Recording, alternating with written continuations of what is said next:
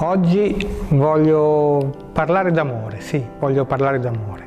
Parlare d'amore? No, dai Natia, no, no, basta. Ma nessuno vuol sentir parlare d'amore, dai. Molti dicono mm, che bisogna affidarsi al cuore, sentire il cuore, che il cuore non sbaglia mai.